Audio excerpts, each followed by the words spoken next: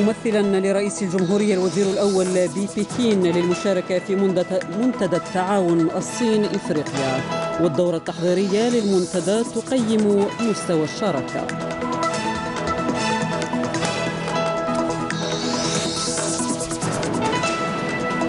وزارة الصحة تؤكد عدم تسجيل أي حالة مؤكدة لوباء الكوليرا خلال الأيام الأربعة الأخيرة. والمدير العام لمعهد باستور يؤكد تطويق الوباء ويدعو إلى التقيد بأساليب الوقاية. وزير السكن يدعو إلى تسريع وتيرة الأشغال بالمدينة الجديدة بوينان بالبوليدة. وتوزيع أزيد من 2200 وحدة سكنية بمختلف الصياغ بتلمسان.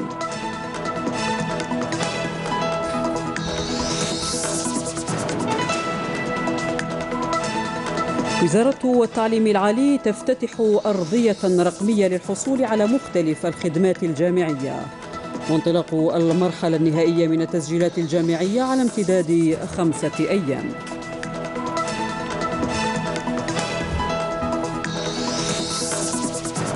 المؤسسة الوطنية للصناعات الميكانيكية المتخصصة في صناعة البراغي بغليزان تراهن على تغطية احتياجات السوق المحلية ومضاعفة الإنتاج والتصدير.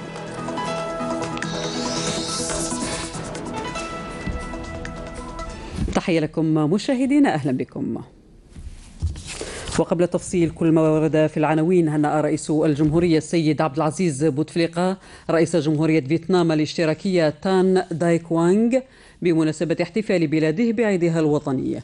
معربا له عن ارتياحه للمستوى المميز الذي بلغته علاقة الصداقة والتعاون التي تجمع البلدين والتي ستزداد متانة واتساعا في المستقبل بفضل الالتزام المشترك والإمكانيات الواسعة المتاحة للبلدين. ممثلا لرئيس الجمهورية السيد عبد العزيز بوتفليقة حل اليوم الوزير الأول أحمد أويحيى ببكين للمشاركة في القمة الثالثة لمنتدى التعاون الصيني الإفريقي المقررة غدا وبعد غد. وكان أويحيى مرفوقا بوزير شؤون الخارجية عبد القادر مسهل. وتحضيرا للقمة شارك مسهل اليوم ببكين في الدورة السابعة للاجتماع الوزاري لمنتدى الشراكة الصين إفريقيا. الدورة التي سمحت بتقييم مستوى الشراكة بين الجانبين تم خلالها المصادقة على مشروعي بيان بكين ومخطط عمل 2019-2021 اللذين سيتم عرضهما في قمة رؤساء الدول والحكومات غدا. موفدنا زكريا مهوبي الاجتماع الوزاري السابع لمنتدى التعاون الصيني الإفريقي ناقش عدة نقاط تتعلق بإعلان بكين المرتقب للقمة الثالثة لمنتدى التعاون الصيني الإفريقي. وتبرز فكرة بناء مجتمع مصير مشترك عبر الشراكة المربحة للجميع كأهم محاور الإعلان. محور ينسجم في أهدافه مع المبادرة الجزائرية لليوم العالمي للعيش معا في سلام والذي أقرته الأمم المتحدة يؤكد وزير الشؤون الخارجية عبد القادر مساهل. العيش معا في سلام والمبادرة الصينية للمجتمع مشترك. مصير مشترك. يعني نفس الفكرة في الحقيقة مصير مشترك أو نعيش معا في سلم هذا ما نأمل إليه كجزائر. نأمل إلى علم يعيش في سلم يعيش في استقرار يعيش في احترام القانون الدولي يعيش في احترام سيادة الدول يعيش يعني في دمقرة النظام الأممي. رهانات محاربة الفقر وتحقيق التنمية المتوازنة. وكذا تعزيز الأمن والشراكة الاقتصادية الصينية الإفريقية. ستكون مطروحة على طاولة أشغال قمة بكين. أولا سندخل في يعني حوصلة ما جرى منذ القمة المنصرمة التي جرت في 2015 جوانسبورغ لتفعيل طريق ورقة الطريق وبرنامج العمل الذي اتفق عليه القادة الأفارقة مع القادة الصينيين سيكون بيان بيان بيجين وهو بيان سياسي على تعميق الشراكة ما بين القارة الأفريقية والصين. وثانيا والوثيقة الثانية تكون يعني برنامج عمل للثلاث سنوات المقبلة ما بين 2019 و 2021 وندرس كذلك جدول أعمال القمة التي ستنطلق غدا إن شاء الله. مشاركة قياسية شهدها الاجتماع الوزاري السابع لمنتدى التعاون الصيني الإفريقي. وفي الأفق شراكة استراتيجية شاملة بين الصين والقارة السمراء. ونقاشات ومشاورة هامة ستكون مطروحة في أشغال القمة الثالثة لمنتدى التعاون الصيني الإفريقي. في سياق تجسيد التعاون والعمل المشترك من أجل بناء مجتمع أقوى وهو شعار منتدى بكين. مفادنا زكريا مهوبي ثانية. قمة منتدى التعاون الصيني الإفريقي الحدث الأبرز في الأجندة السياسية الصينية خلال السنة الجارية. تحت شعار الصين وإفريقيا نحو مجتمع أقوى بمصير مشترك عبر الشراكة المربحة للجميع. المنتدى سيشهد مشاركة العديد من القادة الأفارقة رئيس مفوضية الاتحاد الإفريقي والأمين العام للأمم المتحدة إلى جانب 27 منظمة دولية وإفريقية. الجزائر وبرصيد 60 سنة من العلاقات الدبلوماسية والسياسية المتميزة مع الصين تشارك في أشغال هذه القمة حيث سيمثل رئيس الجمهورية السيد عبد العزيز بوتفليقة الوزير الأول أحمد أويحيى وتعد الصين الشريك الاقتصادي الأول للجزائر بمعدل سنوي يزيد عن 8 مليارات دولار من إجمالي التجارة الخارجية الجزائرية. كما ترتبط الجزائر مع الصين بشراكة استراتيجية شاملة قائمة منذ سنة 2014 نقاشات ومشاورات هامة ستكون مطروحة خلال قمة بكين. أهمها بناء مجتمع مصير مشترك للصين ودول القارة السمراء في إطار الشراكة المربحة والمنافع المشتركة للطرفين.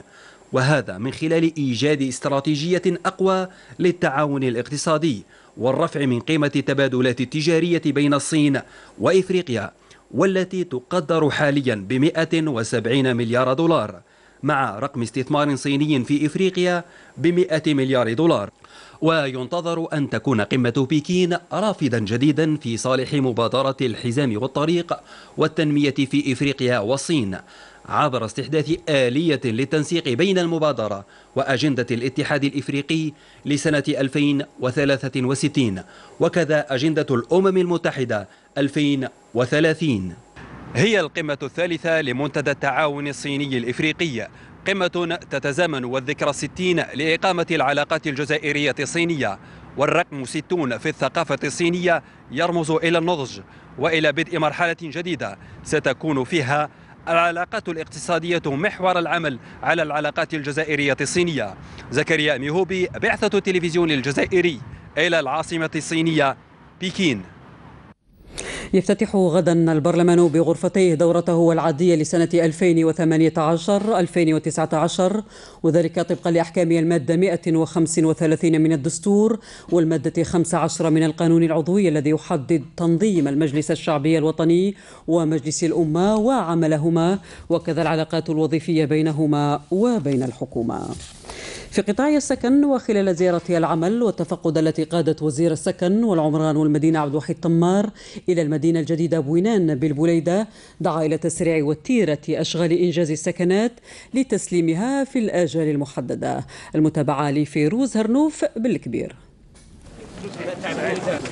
وزير السكن والعمران والمدينة وخلال زيارته إلى المدينة الجديدة بوينان بالبليدة وبعد أن شدد على الإسراع في إنهاء الأشغال المتبقية في حي النخيل وتجهيز المنشآت القاعدية اللازمة وإعطاء الأولوية لمكتتبي عدل في استغلال محلات أحيائهم السكنية أعطى موعدا لتوزيع أزيد من 3600 مسكن من صيغة عدل خلال شهر أكتوبر القادم وتوزيع أزيد من خمسة آلاف أخرى بالموقع نفسه نهاية السنة الجارية. ولا يفوتني هنا أن أتقدم باسمي باسمكم جميعا بخالص الشكر والعرفان لفخامة رئيس الجمهورية السيد عبد العزيز بوتفليقة. على الإمدادات المالية والأعداد الهائلة من السكنات المسجلة في برنامجه والتي ستسمح لنا بمباشرة عملية إسكان المواطنين في الأيام القادمة فور الانتهاء من بعض الأشغال المتبقية وذلك رغم الصعوبات المالية الظرفية التي تمر بها البلاد. سكنات عدل بالمدينة الجديدة بوينان والتي أنجزت بمعايير راقية عاينها شخصيا السيد الوزير للتأكد من مدى استجابتها لتطلعات المواطنين. وشوفوا النوعية وإلا عندكم des remarques là. باش ما يبقاوش هذوك التأويلات وهذا ومن بعد كيسكنوا. وحتى النقائص أنا غادي نقولهم قبل ما تقولوهم انتوما علاش؟ باش حنايا المهم تاعنا كي تسكنوا تسكنوا مستريحين. هذوك تجي واحد التعليمة على les locaux واللي les micro-entreprises اللي داو القرض في ال ANGEM وهذا هادو سهلوا عليهم les procédures. غادي تجي تعليمة بريوريتي سيرتو تقول لها فيرميير يقدر يدير هذا هو. اللي بان لي لوكو هادو سا اون سيتي بعدا فيها هذا. المدينة الجديدة بوينان بالبليدة. هي إذا إحدى المدن الجديدة الخمسة المبرمجة على مستوى الوطن بنحو 35 ألف وحدة سكنية من مختلف الصيغ وأزيد من ألفي مرفق عمومي.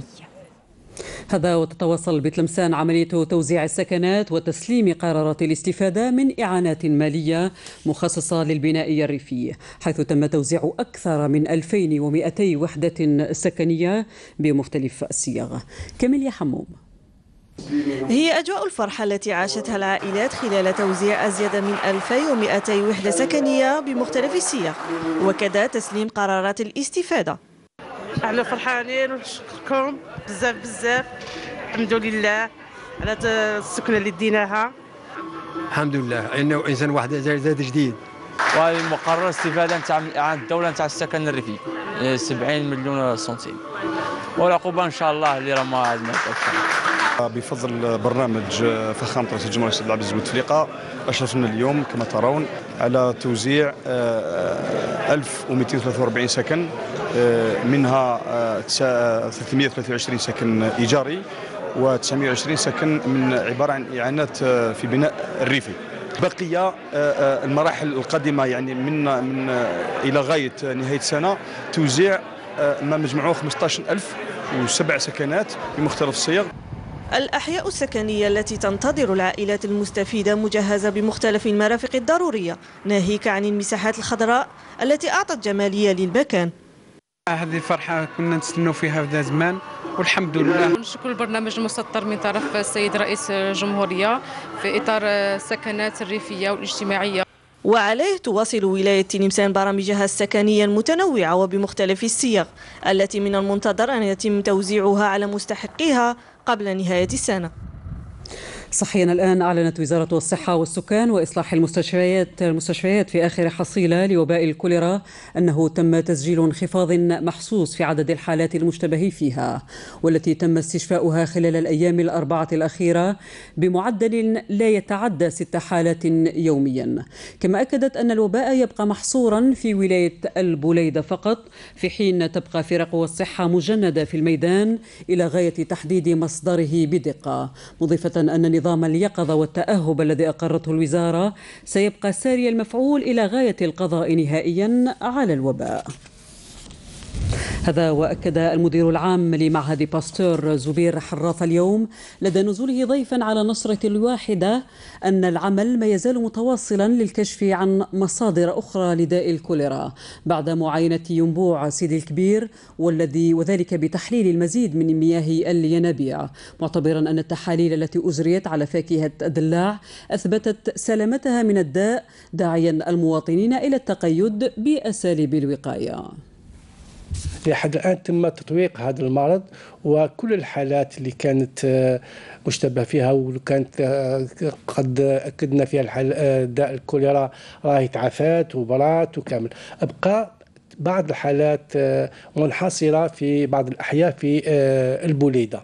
هذه ما هي الإجراءات؟ حنايا الإجراءات الحالية هي البحث عن الأشخاص اللي راهم ربما في جسمهم عندهم الجرثومة ما همش عندهم الأعراض. لي بورتور سان هذوما اللي يمكن يشكلوا خطر في في انتشار الوباء. حنا رانا في في إطار وفي مرحلة باش نبحث عن هذا الأشخاص اللي راهم ربما حاملين لهذا الجرثوم وما همش على بالهم. رانا في منحنى نزول. تاع هذا هذا لا فلومبي هذه تاع الإبيديمي هذه وإن شاء الله آه، بعيدا عن التهويل و... بعيدا عن التهويل إن شاء الله قبل الدخول المدرسي نتمنى انها ما يكون أي حالة جديدة. تطمينة بدا انعكاسها واضحا على أسواق الجملة للخضر والفواكه التي عادت بها الحركة بعد انقطاع دام أسبوعا كاملا بسبب انتشار وباء الكوليرا. العينة من سوق الجملة لبوغرة بالبليدة مع ليلى محمد محدود. هي عودة الحركة لسوق الجملة للخضر والفواكه ببقرة بعد فترة من الركود. الدلاع راهي تباع في السوق الحركة كاينة الناس راهي تمشي فتحوا لك الدلاع الناس قاعد تاكل الدلاع إلا عندنا ست أشهر إحنا نخدموا فيه مارس أفريل ماي وجوا وجوي ورانا في أوت. كان يتكل الدلاع حتى ب 20 في الكيلو كلاوة. كنا نبيعوا 3000 الآخر عاود ولا الالف راك السوبه اللي ما كاش. والخدمة تمشي والتجارة مزدهرة هنايا. طلعتنا الحمد لله راهي ماشيه الناس يتاجر يجي من كل مكان. من عند دفله من الصحراء من الراس من اضرار مواطنون يقاطعون الفواكه الموسمية خوفا من الإصابة بالوباء. قمنا باقتطاع عينات تاع شلاضة.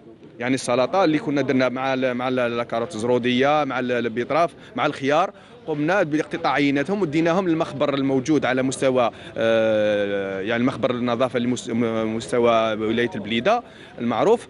آه، قمنا باقتطاع عينات وكانت العينات كلها يعني سليمة. نؤكد آه، عدم آه، إصابة الفواكه والخضر وأنها سليمة تماما. وهذه مجرد إشاعات لإصابة والمساس بالمنتوج الفلاحي الجزائري. خطة بلادنا كان مصالح معنية وكان مؤسسات سهرانة على على مراقبتها وعلى سلامتها. رانا نشوفوا يعني حركة اللي دعينا عودة الحركة اللي دعينا تجار تجزئة يعني آه، باش يعني يقتنوا السلع وما يخافوش. يعني يجوا يقتنوا السلع والتجار الجملة والاستقبال من عند الإدارة تاع السوق يعني تستقبلهم حسن استقبال. كثيرا ما ترتفع أسعار الخضر والفواكه بسبب إشاعات مغالطة خاصة عندما تعلق الأمر بانتشار الأوبئة وعليه لا ينبغي الانسياق وراءها. وعشية الدخول المدرسي إجراءات صحية ووقائية جرى اتخاذها بعين دفلة تزامنا واستلامها هياكل تربوية جديدة من بين 184 مشروعا تجري الأشغال بها. محمد أمين بوتومي. ولاية عين الدفلة التي تحصي أزيد من 219 ألف تلميذ تعززت بمناسبة الدخول المدرسي بهياكل تربوية موزعة على مستوى التجمعات السكانية الجديدة. الاستلام والانتهاء لدخول حيز الخدمة إن شاء الله. آه، مجمعين مدرسيين. وكذا زوج أنصاف داخليات 23 مطعم مدرسي. و11 قسم للتوسيع بالنسبة للمدارس. باقي البرنامج راه إحنا في صدد الاستلام خلال كل شهر يعني عندنا استلام لمشاريع متعددة. إلى غاية ديسمبر. يعني بعض المجمعات السكنية الكبرى مثل حي قوادري هنا على مستوى بلدية عين دفلة. وكذا بحي 950 مسكن على مستوى بلدية آه، خميس مليانة. هذه الأحياء يعني توفر على جميع الشروط آه، الخاصة بالتهيئة الخارجية. ولضبط الأمور التنظيمية اجتماع جمع والي ولاية عين دفلة بالمدراء التنفيذيين خصوصا الترتيبات الصحية للوقاية من الأمراض المعدية واجتماع آخر على مستوى مديرية التربية لتبليغ آخر توصية وزارة التربية الوطنية. أعطينا تعليمات وتوجيهات لتنظيف كل الخزانات كل دورات المياه نصف داخليات المطاعم المدرسية والعمل يعني راه جاري هذه الأيام. ومن المبادرات التي تستحق الإشادة بعين الدفلة تزيين محيطات المدارس مثل ما فعل أولياء تلاميذ مدرسة مليان محمد بتجهيز ساحة المدرسة ومحيطها بدفع مساهمات مالية. بدوره تعزز قطاع التربية بولاية قسنطينة بهيكل, بهياكل تربوية جديدة بما سيسهم في التخفيف من الضغط الناجم عن عملية الترحيل. أمينة بعطوش. منشآت تربوية جديدة ستفتح أبوابها مع الدخول المدرسي المقبل بولاية قسنطينة والتي ستساهم حتما في التخفيف من الاكتظاظ داخل المدارس خصوصا في المناطق السكنية المرحلة مؤخرا. في إطار برنامج فخامة رئيس الجمهورية والعناية التي يوليها لهذا القطاع. وبفضل هذا البرنامج هذه السنة لقد حضرنا بالنسبة للابتدائي عشر مؤسسات ابتدائية. أما بالنسبة للثانوي فقد حضرنا آه، ثلاث مؤسسات أو ثانويات جديدة. آه، فيما يتعلق بالطور الابتدائي أنا أطمئن المرحلين يعني اتخذت جميع التدابير من أجل استقبال التلاميذ وكعملية نوعية لهذا الموسم تم على مستوى الولاية مركزة المطاعم. سوف نستلم هذا الأسبوع آخر هذا الأسبوع 14 مطعم مركزي أعيد تهيئته. وفي الجانب التضامني تم تخصيص 37 ألف محفظة جاهزة وكعين بلدية الخروب التي شرعت في توزيع نصيبها من هذه المحافظ. مشينا وزعنا من أصل 15000 رانا وصلنا إلى 13800 محفظة اللي وزعناها مع هذا الدخول الاجتماعي. نمشوا ل 100 مدرسة إن شاء الله يعني فيه الهيكل القديمة والجديدة. اذا فجميع التحضيرات ضبطت على مستوى الولاية لدخول مدرسي بيداغوجي ناجح بامتياز. أن تحضيرات الدخول المدرسي لا تكتمل دون اقتناء المستلزمات الدراسية. افتتحت أمس ببهو رياض الفتح بالعاصمة فعاليته الطبعة الثالثة للصالون الوطني للكتاب المدرسي وسط حضور لافت للأولياء والأبناء. وهبة ومزيدات في هذا الفضاء التربوي الواسع أولياء وتلاميذ جاءوا من كل مكان لاقتناء الكتب المدرسية. préférer نشري complet في المعرض يدخل طفل début de l'année يدخل بكتابات complet. جيت مع بابا باش نشري كتابات آه، باش نحوسو. نروحو مقام شهيد آه، نتفرجوا في المتحف. كتب الرياضيات لغة عربية تربية إسلامية. نعطيك نعطيك الخير نعم آه معليش في الطبعة الثالثة للصالون الوطني للكتاب المدرسي كتب متوفرة في جميع المواد. إيه كاين واجدين الحمد لله هنا كاين واجدين. شروب يعني على باش باش إيه ما نظلوش حنا بالمدارس العود غاشي بزاف عود ما كانش هاو ما كانش. وكاش حنا لقينا l'occasion لهنا باه نشريهم une fois pour toutes جيت من عام ليلة لقينا الكتب واجدين. الحمد لله خطاكش أنا العام اللي فات الكتب ناقصيني. في ال deuxième في ال troisième ما لقيتهمش حتى أنا حتى نتسلفت من عند أولاد صحابي. حقا إحنا جينا هنا مقام شهيد. جينا مقام شهيد شفنا جينا نشوفوا المعرض اللي راه. بصح كي لقيت l'occasion profité باش ما نطيحش في ال manque تاع صرا في العام الأول. بس كان عندي بنتي في السنة الأولى هكذا صرا لي الأولى. حتى وليت نجري نكمل في برا. حنا profite l'occasion تاع l'occasion تاع ال vacances. donc عندي سنة أولى سنة ثانية متوسط. وسنة خمسة ابتدائي. إذا كل الظروف مواتية لانطلاقة مدرسية موفقة. ولكن الظروف الإدارية لا تبدو أنها مواتية في ظل تجدد مشاهد طوابير الأولياء بالبلديات لاستخراج الوثائق المطلوبة من المؤسسات التربوية مع بداية كل دروس دخول مدرسي بالرغم من الإجراءات الجديدة لوزارة الداخلية. العينة من بلدية ضراريا بالعاصمة مع ليلى محمد محدود. extraits de naissance شهاده ميلاد résidence fiche familiale كيطلبوهم المواطنين دائما بال double. malgré نقولوا لهم باللي يشدوا عام وما تسحقوهمش يقول لك لا لا نروحوا لمسيد مسيد يرجعونا نخدموا خلينا نشقاو معليش يدي بزيادة يسحق زوج يدي عشرة. هو السيناريو نفسه يتكرر مع كل موسم دراسي جديد طوابير في كل بلدية لاستخراج الوثائق الإدارية المطلوبة. جيت نخرج extrait de naissance résidence كل ما ندخلوا يقولوا لنا مونج valable من 2017 2018 كذا toujours كيف كيف وليدي ما جديد عنده ال dossier تاعو آه كل عام راني نجيب له كل ما يزيد يطلع عام نزيد نجيب له هذا الشيء راه يأثر علينا إحنا les citoyens en plus même العمال تاع البلدية c'est trop chaque septembre هكذا chaque août هكذا bac c'est vraiment حالة من الضغط باتت تؤرق حتى العمال بالرغم من تعليمات وزارة الداخلية. التعليمات تقول لك آه، إعفاء المواطنين من استخراج جميع الوثائق المتوفرة في السجل الآلي للحالة المدنية.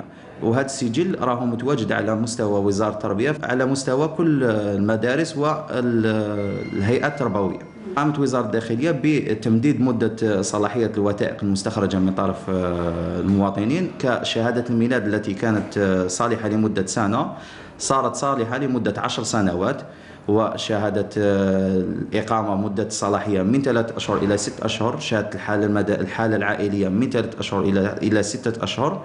هاد الوثائق اللي دائما زاد فيهم المدة تاع وزارة الداخلية لكن دائما دائما نشاهد هناك حالة اكتظاظ وعدم تفاهم من طرف المواطنين. تقريب الإدارة من المواطن هو الحل الأنجع لتجنب الأعباء والاكتظاظ. انطلقت اليوم التسجيلات الجامعية النهائية عبر مختلف جامعات الوطن والتي تستمر إلى غاية السادس من الشهر الجاري حيث تم توفير كل الظروف لاستقبال الطلبة وضمان دخول جامعي ناجح. نور دحماني. نسرين طالبة بجامعة الجزائر واحد أتمت اليوم تسجيلاتها النهائية. التسجيلات سهلة جبت ال formulaire عمرته جبت له هنا داولي ال cachet مدوا لي البطاقة. عملية التسجيل كانت مليحة. حبيت نجي ال premier jour خاطش capable ما يقبلونيش يبعثوني جامعة واحدة أخرى من بعد. كنت دايرة médecine بعد كي ما خرجتليش داروا لي بعثوني architecte بعد خلاص قالوا لي كاع مليحه كل يوم نتلقى دفعة محددة من الطلب طلبة حتى يكون المهمة سهلة للتسجيلات الكافية. وعندنا ثلاث مراحل المرحلة الأولى هي ملء الاستمارات وتكوين الملف. والمرحلة الثانية نقوم ب la vérification des dossiers est-ce qu'il est complet في حالة ما إذا كان الملف كامل يقوم بالتسجيلات النهائية. إمكانيات بشرية ومادية وضعت تحت تصرف الطلبة لتسهيل عملية التسجيل في ظروف محكمة. كاين اللي يوجههم يوري لهم وين المحاسب باه يدفع الحقوق يوجههم باه يتسلم الظرف يوجههم وين يروح يسجل في هي كلها في مكان واحد. إجراءات خاصة بالمتخلفين والمتأخرين عن التسجيل وفقا للمرحلة المحددة من قبل الوزارة الوصية. قبلوا لي الرياضيات وعلم آلي في جامعة بومرداس c'est bon بعثوني علوم طبيعية وحياة. حنسنى يعني بالك يعاودوا يقبلوا لي ندير تحويل باش نحول الرياضيات وعلم آلي. إذا كان ما قبلوليش العام الجاي إن شاء الله. نعاود الباك. معالجة الحالات الخاصة أو الحالات الاستثنائية والتي كانت محل منشور وزارة تم نشره مؤخرا وهي المرحلة التي سنشرع فيها ابتداء من سبعة من الشهر الحالي إلى غاية 16 من شهر سبتمبر وهي المرحلة التي سيتم التكفل ببعض الحالات ويجدر التذكير أن كل الحالات الخاصة تم لا مركزيتها هذه السنة وستتم عبر المؤسسات الجامعية تحت مراقبة نظام الإعلامي المدمج الموسوم ببروغرس. عملية التسجيل متاحة للطلبة الجدد عبر ولايات الوطن إلى غاية السادس من هذا الشهر. هذا وأعادت اليوم وزارة التعليم العالي والبحث العلمي فتح أرضيتها الرقمية للحصول على مختلف الخدمات الجامعية. العينة في النشر من الإقامة الجامعية لباب الزوار بالعاصمة مع محمد أمين بوتومي. الأرضية الرقمية التي تشرف عليها خلية منصبة على مستوى وزارة التعليم العالي والبحث العلمي تتيح للطلبة فرصة للحصول على مختلف الخدمات الجامعية من إيواء منحة ونقل وهذا ابتداء من نهار اليوم. عملية هذه تاع الطلب الإيواء نضاف نضيف إليها إن شاء الله عملية تخصص للمنحة وللنقل وهذا ابتداء من 2 سبتمبر إن شاء الله. من 2 هي تنطلق من 2 إلى 16 سبتمبر. وبالتركيز على الإيواء فأكثر من 76 ألف مقيم كانوا قد تحصلوا على مواقع أحيائهم الجامعية.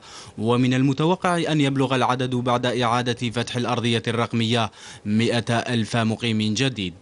نذكر فقط أن السنة الماضية عدد الطلبة المقيمين كان بلغ 499327 وبطاقة نظرية 500 ألف سرير. الآن هذه السنة سوف ترتفع الطاقة النظرية ب 45500 سرير جديد إضافة إلى ست مطاعم جامعية فوق ست مطاعم جامعية نعم جديدة. يعني تنضاف إلى ال 535 مطعم الموجود حاليا. فأظن أن المعطيات والأرقام تعطي نظرة أن الدخول الجامعي سوف يكون يعني مريح ومتحكم فيه. وكعينا في موضوعنا اطلعنا على التحضيرات لاستقبال الطلبة المقيمين على مستوى الحي الجامعي باب الزوار. بغض النظر على الإيواء والإطعام عندنا آه، مرافق منهم من cybercafé عندنا une boutique alimentation générale عندنا un foyer اللي كيقدم كل الخدمات مصلحة النشاطات الثقافية والرياضية. عندنا ملعب. لتكون هذه الخدمات وغيرها متاحة لأكثر من نصف مليون طالب مقيم من مجموع مليوني طالب. كما أوردنا في العناوين ومن بين الفروع الصناعية التي يعمل المجمع الجزائري للميكانيك على تطويرها صناعة البراغي عبر شركة أورسيم بودرهيو بغليزان الشركة التي تغطي نسبة 50% من السوق الداخلي لها تجربة ناجحة أيضا في التصدير إلى العديد من الأسواق الخارجية. رابح مداوي الظروف والأهداف التي نشأت فيها صناعة البراغي هنا بمصنع أورسين بودرهيو منذ أربعين سنة ليست هي نفسها اليوم. الشاهد على ذلك حجم ونوع الإنتاج التسيير وتقسيم العمل بشركة عمومية فرضت حضورها بالسوق الداخلي واستطاعت أن تصدر كمية هامة من إنتاجها من البراغي لعديد البلدان العربية. نغطي احتياجات الشركات الوطنية بنسبة 50% حالياً. والهدف تاعنا في, في على ال moyen تاع c'est d'atteindre les 80% de la satisfaction du besoin du marché local. وعندنا عين en même temps pour l'exportation للتصدير la preuve هذا الشهر هذا قمنا بعملية تصدير 13 طن من البراغي نحو تونس. هي c'est de la boulonnerie de haute qualité de haute résistance donc le client il est satisfait donc c'est une opération qui réussit نجحت العملية ورانا في اتصالات مع زبائن اخر ما تحضر له الشركة وبقوة أن يكون لها حضور أكبر في عديد المشاريع بعديد القطاعات ولعل أبرزها بمشروع الأربعمائة ألف سيارة التي تنوي مختلف مصانع التركيب بعثها في الجزائر. فالمناولة بالنسبة لها أساس الوجود والبقاء والرفع من الإنتاج ومن رقم الأعمال في مصنع النوعية به تراقب في جميع مراحل الإنتاج. En plus des produits Tawana, les traitements qu'on fait pour les produits d'Orsim, c'est une société nationale qui est venue chez nous nous pour faire un traitement surface donc هادو هما les produits تاعها on fait quand même une valeur ajoutée assez importante pour rentabiliser l'investissement qui était réalisé dans les plus brefs délais bien sûr يمتلك المخبر أورسيم إلى قدرات عالية قدرات عالية من طرف مهندسين وتقنيين لمراقبة المنتوج وفقا للمقاييس الدولية. وكذلك متحصل على شهادة اعتماد من طرف الهيئة الجزائرية للاعتماد الجيراك في تخصص فحص فحص الفيزيائي والكيميائي للمادة الأولية والمواد المعدنية. كما يسهر قسم المراقبة في ضمان نوعية المنتوج من أجل إرضاء الزبون.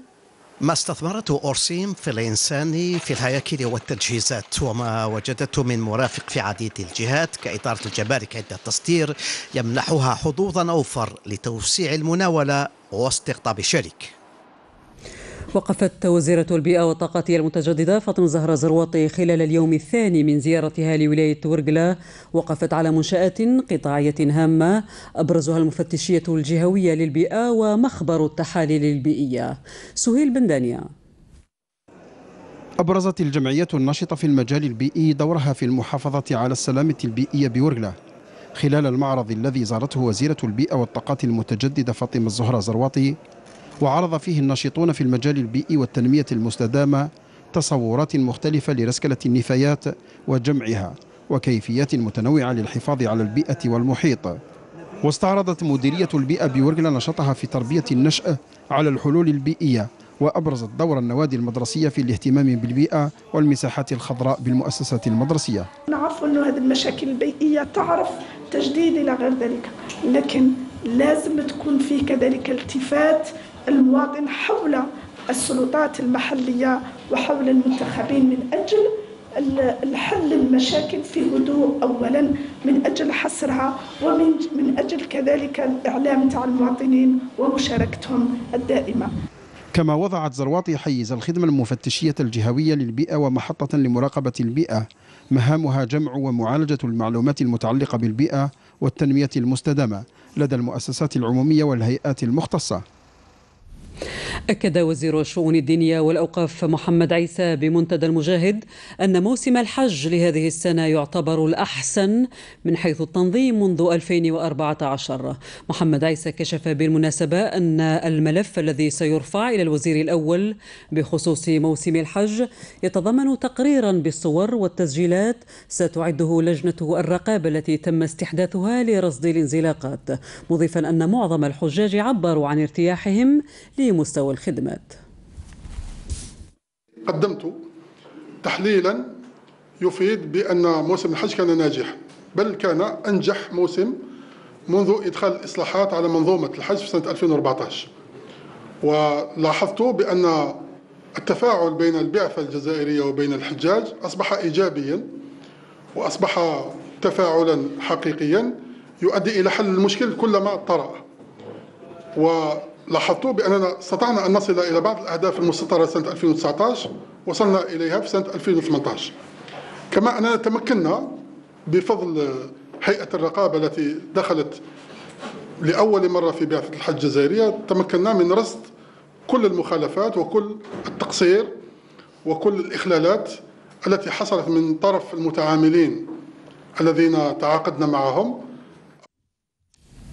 حزبيا الآن عقد اليوم الأمين العام لحزب جبهة التحرير الوطني جمال ولد عباس اجتماعا تشاوريا مع مجموعة الأحزاب الخمسة عشر المنضوية تحت لواء. مجموعة الاستقرار والإصلاح التي يرأسها الأمين العام للتحالف الوطني الجمهوري بالقاسم الساحلي لإطلاق مبادرة بناء الجبهة الشعبية الصلبة التي دعا إليها رئيس الجمهورية السيد عبد العزيز بوتفليقة في العشرين أوت الفارط. الاجتماع توج ببيان أكدت فيه الأحزاب المشاركة دعمها المطلق لرئيس الجمهورية وللاستمرارية وانخراطها الكامل في مسعى بناء هذه الجبهة لحماية لحماية ثوابت الشعب الجزائري وتوطيد وحدته وحماية الجزائر وتحصينها والحفاظ على أمنها واستقرارها. إن الدعوة الصادقة لبناء الجبهة الشعبية الصلبة يهدف أيضا إلى تحقيق المزيد من تجند وتضافر الجهود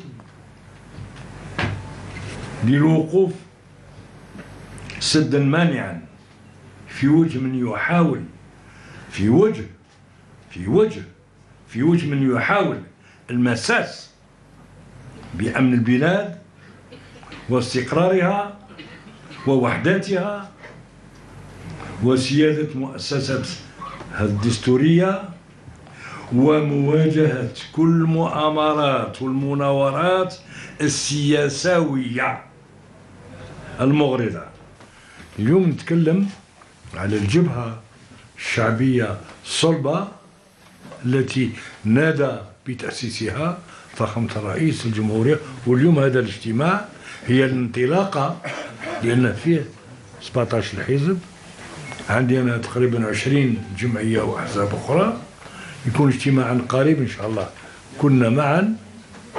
المهم هي تلبية وتحقيق وتجسيد نداء السيد الرئيس. في إطار هذا اللقاء التشاوري الذي يجمع 15 حزب سياسي منضوي تحت لواء مجموعة الاستقرار والإصلاح مع حزب جبهة التحرير الوطني. وبمبادرة كريمة من هذا الأخير فإننا كأحزاب نجدد عرفاننا ودعمنا للسيد رئيس الجمهورية وانخراطنا في مسعاه النبيل المسعى الذي عنوانه الاستمرارية وإطاره الجبهة الشعبية القوية وهدفه رفع ثلاث تحديات أساسية هي الحفاظ على الاستقلال وتعميق الديمقراطية وتنويع الاقتصاد الوطني بالإضافة إلى الوقوف في وجه جميع المناورات الداخلية منها والتهديدات الخارجية. وقبل استكمال باقي ملفاتنا يرفع على مسامعنا أذان صلاة العشاء للعاصمة وما جاورها من مدن.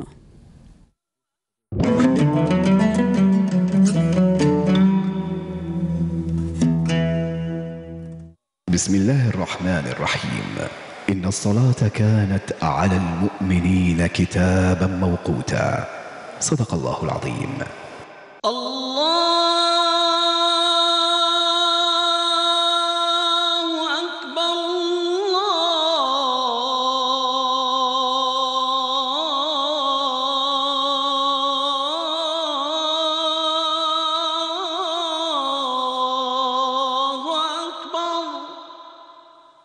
أشهد أن لا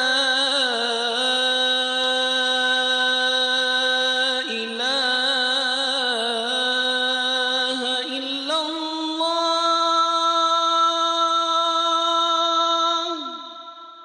أشهد أن لا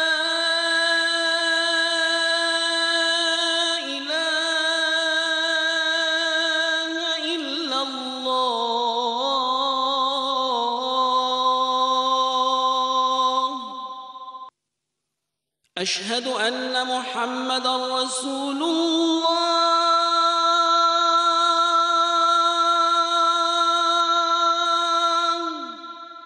أشهد أن محمدا رسول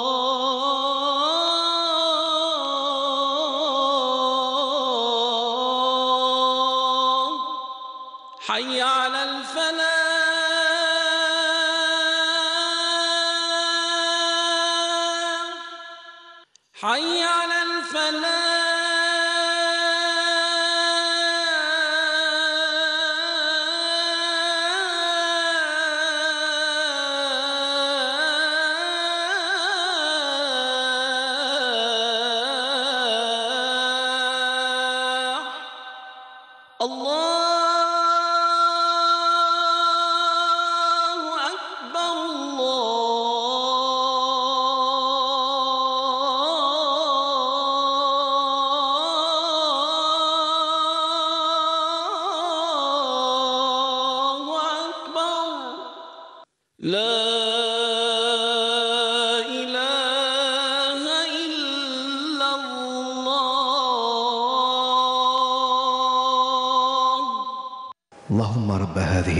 التامة والصلاة القائمة. آت محمدا الوسيلة والفضيلة والدرجة الرفيعة. وابعثه اللهم مقاما محمودا الذي وعدته. تقبل الله صلاة الجميع في باقي ملفاتنا وفي إطار مكافحة الإرهاب. ومواصلة للجهود الحثيثة لقوات الجيش الوطني الشعبي سلم إرهابيان نفسيهما اليوم للسلطات العسكرية بتمرست. ويتعلق الأمر بكل من عبد الله كلغلغ المدعو يعقوب حسن وعلي ولد بادي كلغلغ المدعو سعد. وهذا حسب بيان لوزارة الدفاع الوطني.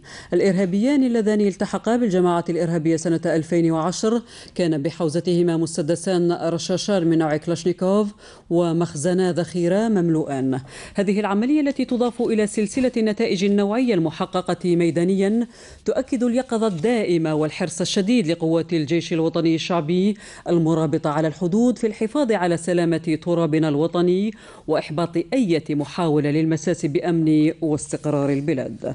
وفي إطار محاربة مكافحة الإرهاب دائما ضبطت مفارز للجيش الوطني أمس بكل من برج باجي مختار وعين قزام بندقيتين نصف آليتين من نوع سيمينوف ومسدسا آليا وسبعة كيلوغرامات من المتفجرات تي إن تي وكمية من الذخيرة. في حين كشفت ودمرت مفرزة أخرى سبع قنابل تقليدية الصنع إثر عملية بحث وتمشيط بالمدية.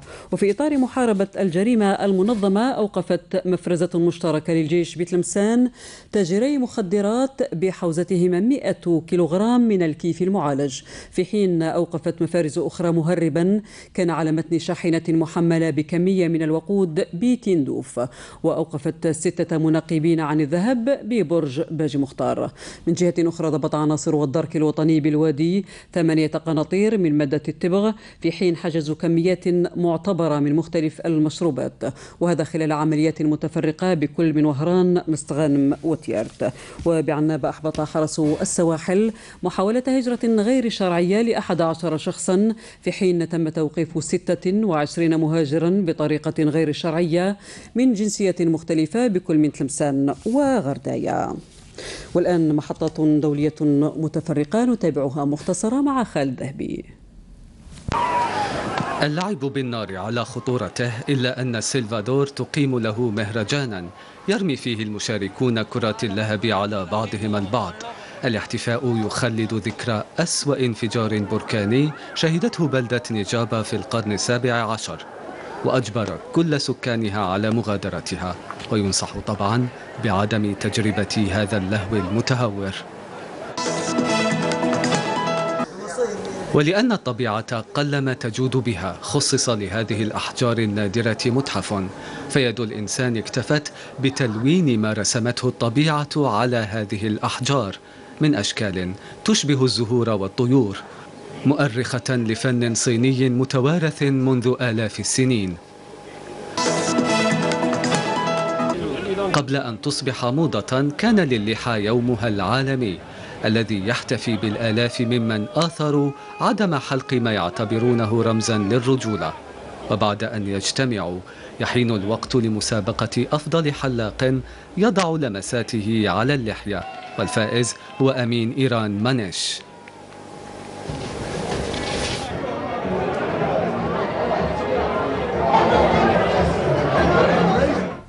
أشرف اليوم وزير الشباب والرياضة محمد حطاب على تكريم عدد من الرياضيين المتألقين في الألعاب شبه الأولمبية لذوي الاحتياجات الخاصة. وبالمناسبة أكد حطاب أهمية التكفل بانشغالات هذه الفئة قصد تحسين مسارهم ومستواهم الرياضي في المحافل الدولية مستقبلا من خلال التكوين والتأطير الجيد.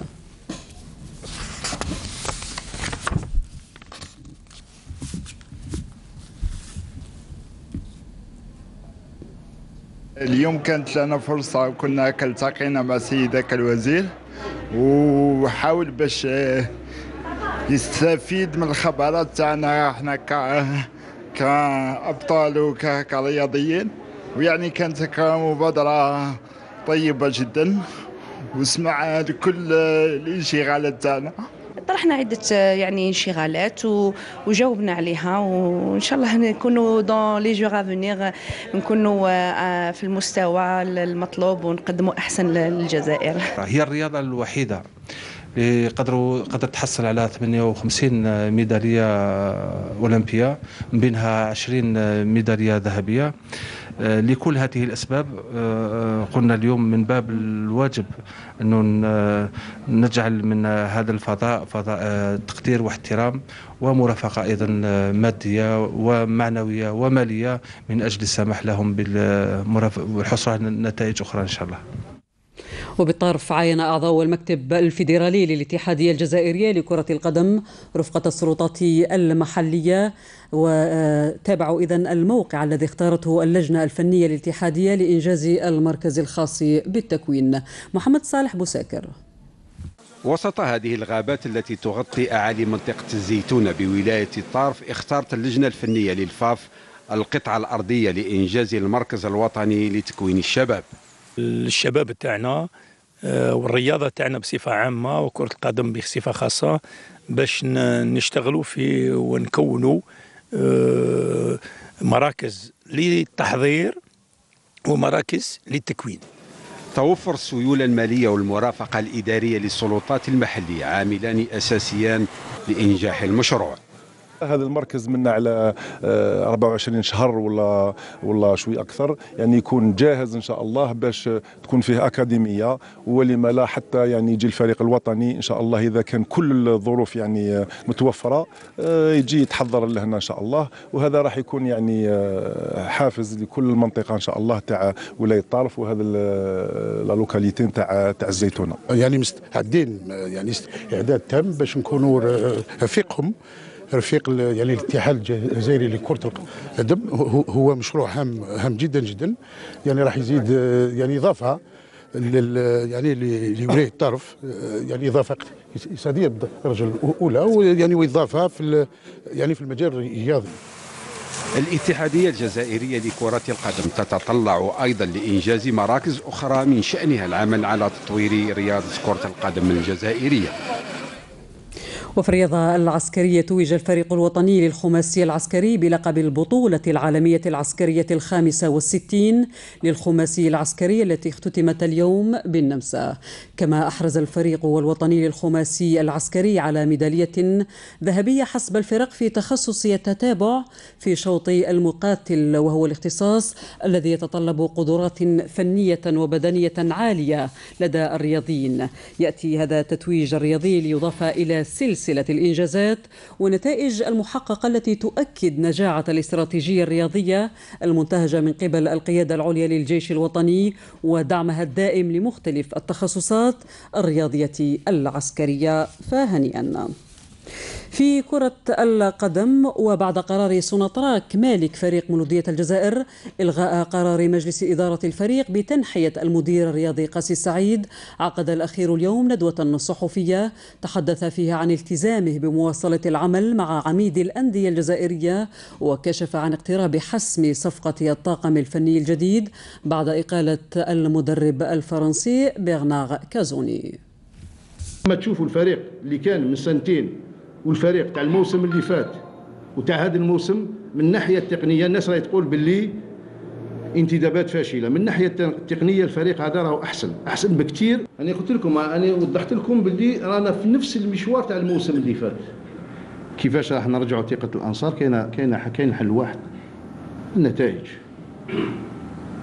نتائج عندنا فريق اللي ممكن يحقق نتائج. تدعيم للعارضه الفنية مع واحد كان سبق له واشتغل في مولوديه الجزائر ومازالت عنده لا ليسونس تاعو لي فالاب لو اتفقنا معاه إن شاء الله. والمدرب اللي حيكون رئيسي إن شاء الله يعني آه، راح يسير الأسبوع كله في يوم المباراة يعني آه، راح نلقاو حل حل ثاني سمعنا اسم صيفي ونختم من عاصمة الحماديين التي انطلقت بها أمس فعاليات الطبعة السادسة عشرة للقاءات السينماتوغرافية تحت شعار الزول سينما حيث يتضمن البرنامج 24 فيلما سينمائيا يعرض على مدار ستة أو ستة أيام. التغطية لأمير نباش والتقرير لخالد حاج جلالي فعاليات الطبعة السادسة عشرة للقاءات السينماتوغرافية التي تحتضنها عاصمة الحمدين. تضم قائمة 24 فيلما سينمائيا من بينها ستة أفلام جزائرية لم يسبق عرضها من قبل. هناك علاقة حميمية بين السينما والفن وأظن أنها مسألة أخلاقية أيضا لأن مصالحة الجمهور السينمائي جد مهمة. وعلى مدار ستة أيام سيستمتع الشباب الهاوي بعروض لأفلام طويلة وأخرى قصيرة وأشرطة وثائقية تكون محل مناقشة لجنة التحكيم. فيما يخص الأفلام الجزائرية نسجل مشاركة ستة أفلام جديدة. ونلاحظ أن هناك تنافسا قويا بين شباب مبدع ومخرجين لهم لمسات فنية متميزة. نريد أن نتقاسمها مع الجمهور. وهذا ما نهدف إليه من خلال هذا المهرجان. السهرة الافتتاحية عرفت عرض الفيلم القصير ونس للمصري أحمد نادر فيما برمج الجزء الثاني للسهرة للشريط الوثائقي تينو أفريل لمخرجه دندون ندير هو فيلم مصري قصير يروي الحب في سن متقدمة وهو غير مألوف في العالم العربي حيث تعنى الشيخوخة بالتقاعد أو الجانب الديني في الفن السابع. أمي ككل الأمهات لم تعطى لهن الكلمة لكنهن كنوز وهن أساس كل العائلات. اللقاءات السينماتوغرافية تهدف إلى خلق احتكاك بين صناع السينما الجزائريين والأجانب. أما معيار الاختيار فيستند على مدى جودة الإنتاج. بقي فقط أن نذكر بأبرز العناوين. ممثلا لرئيس الجمهورية الوزير الأول ببكين للمشاركة في منتدى التعاون الصين إفريقيا. والدورة التحضيرية للمنتدى تقيم مستوى الشراكة.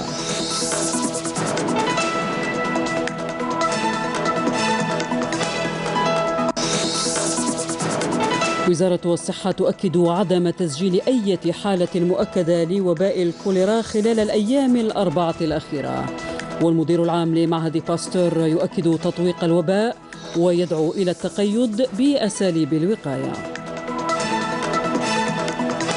وزير السكن يدعو إلى تسريع وتيرة الأشغال بالمدينة الجديدة بوينان بالبليدة وتوزيع أزيد من 2200 وحدة سكنية بمختلف الصياغ بتلمسان.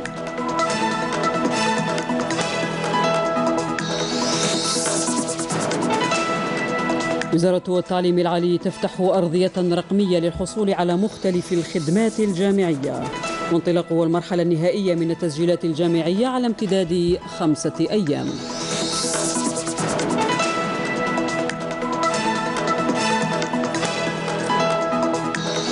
وتابعنا أيضا المؤسسة الوطنية للصناعة الميكانيكية المتخصصة في صناعة البراغي بغليزان تراهن على تغطية احتياجات السوق المحلية ومضاعفة الإنتاج والتصدير. للتواصل معنا دائما العناوين الظاهرة في الخدمة. شكرا على المتابعة. في أمان الله.